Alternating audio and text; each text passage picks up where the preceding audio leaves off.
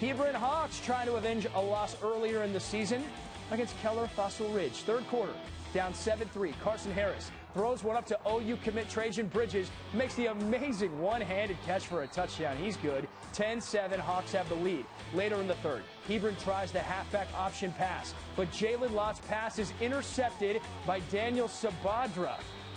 That kills the Hawks drive. Nice play. Just over three minutes left. Same score. Scottie Colis' pass is going to be intercepted by Ben Rutherford, and he's taking it back for six. Hebron wins 17 to 7 and will face Richardson Pearce next week after Pearce um, shocked Cedar Hill.